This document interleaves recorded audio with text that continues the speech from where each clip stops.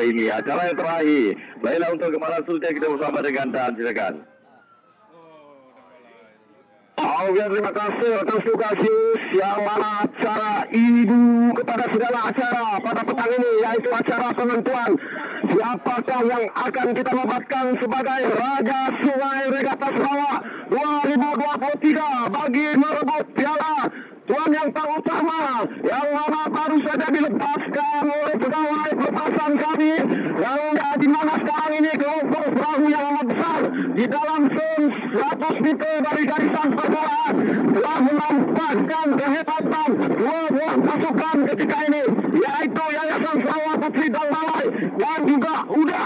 Nah, kedua buah pasukan ini yang mempunyai senarai pasukan yang paling banyak pada pertandingan akhir pada petang ini.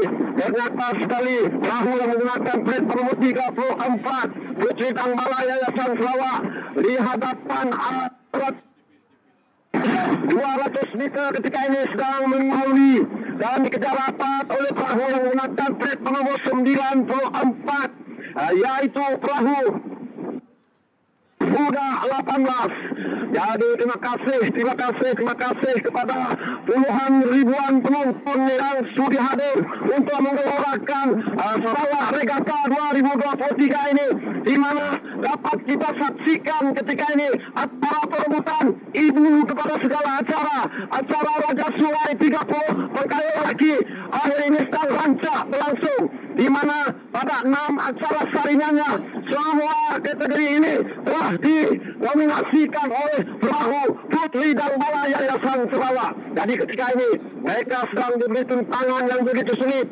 oleh perahu Uda 18 yang menggunakan plate nomor 94. Manakala uh, Gang Balai Putri dan Bala Yayasan Sarawak yang menggunakan plate nomor 34 berada di hadapan ketika ini. Jadi Alhamdulillah melepasi jarak 400 meter dari garisan permulaan ketika ini uh, begitu menarik sekali cara penggaluhan mereka. Tiada sebarang insiden yang tidak diingini berlaku. Namun ternyata pertambungan uh, di antara tiga buah pasukan yang berada di kelompok hadapan ketika ini uh, seperti perahu uh, yang berada kedudukan di tangga yang keempat. Manakala di kedudukan yang ketiga seakan-akan Uda dan juga kedudukan satu dan dua sudah semestinya pertemuan di antara Putri dan Malai dan juga Uda. Jadi terima kasih sekali lagi diucapkan kepada uh, mereka yang sanggup untuk datang di bumi kedalam pada tiga hari ini untuk sama-sama menyuarakan Regatta Sarawak 2023 yang mana pada ketika ini masih lagi rancak pertembungan perebutan Raja Sungai yang ibu kepada segala acara regatta yang berlangsung di Sarawak ini. Acara 30 pengkayuh lelaki akhir jadi ternyata pertembungan di antara Uda Putri dan Balai sekarang ini begitu uh, mendebarkan. Tidak disangka juga kehebatan Jang Ai yang menggunakan plate perwarna seakan-akan berjaya mengimbangi kedudukan pada satu, dua dan tiga. Jadi harus kita ingat, harus kita perhatikan kedudukan perahu ini benar-benar kerana kemungkinan besar aura ataupun semangat Raja Sungai ini uh, berlainan sedikit daripada acara-acara saringan yang mereka sertai ini. Jadi pertemuan di antara perahu uh, Putri Tangbala Yayasan Sarawak, Buda dan juga Jang Ai ini pastinya akan mengalami puluhan ribu uh, penonton yang uh, membanjiri di sekitar pelosok tepian sungai ketika ini. Ternyata sekali ketika ini Putri dan Barai akan-akan sedang diberi tentangan hebat oleh Uda dan juga Dang Ai yang berada pada kedudukan satu, dua dan tiga.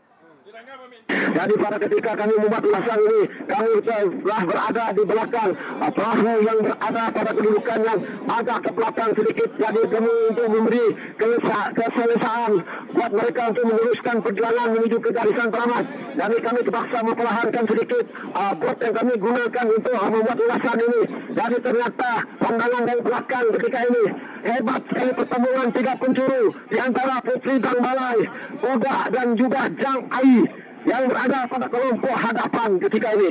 Jadi mana satukah perahu yang berada di depan? Hanya lebih kurang beberapa minit saja lagi kami akan dapat memintas perahu yang uh, berada di sebelah kami membuat ulasan ini akan kita ketahui kedudukannya.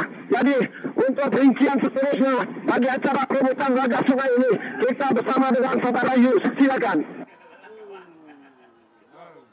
Baiklah, terima kasih rakan dan petugas-petugas dan dalam apa yang dapat kita saksikan mereka baru saja melalui penggalan kampung Gresik menuju ke penggalan kampung Boyan. Di situlah akan tercetusnya satu percutan daripada setiap petugas-petugas ataupun perahu-perahu yang bersanding untuk menentukan siapakah yang akan bergelar Rakan Sungai Selawari Kata 2023. Dan apa yang dapat kita saksikan dua kembar Putri dan Balai kini berada di kedudukan yang pertama dan yang kedua dan dua penentuan siapakah yang akan selesai sungai untuk kali ini berada di hadapan. Dengan perahu nombor 34 Putri dan Balai di tempat yang pertama. Diikuti dengan gembarnya 52 juga Putri dan Balai yang sesuai 8 berada di kedudukan yang kedua. Dari tempat yang ketiga ketika ini masih lagi 94 94 itu udah dan lagi berada di ketika ini. Diikuti dengan 56 56 uh, udah 8 berada di kedudukan yang keempat. Sama-sama kita berikan tumpuan kepada perahu-perahu kedua buah perahu yang berada di hadapan ketika ini. 34 dan juga 52 itulah yang menempatkan siapakah yang akan bergelar Raja Sungai Selawar Regatta 2023 sama kita berikan tumpuan dengan gayungan setiap pecukan mereka ini hampir lebih kurang 200 meter saja lagi untuk menyelamatkan acara ini jangan ditinggalkan oleh kedua-dua perahu daripada Dan Balai. Dan di belakangnya di tempat yang ketiga 94 udah 18 berada di kedudukan yang ketiga. Ini yang dapat kita saksikan pada bila-bila masa saja boleh mereka memecut untuk menentukan kedudukan masing-masing. Satu dengan perahu di hadapan perahu 34 yaitu Putri dan Balai Sasrawa berada di kedudukan yang pertama ketika ini. Diikuti dengan 52 yaitu Putri dan Balai Sasrawa 8 berada di kedudukan yang kedua.